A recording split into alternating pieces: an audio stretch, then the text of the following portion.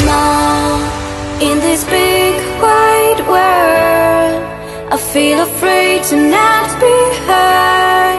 There is a storm inside of me. I want to cry, I want to scream out loud. All my fears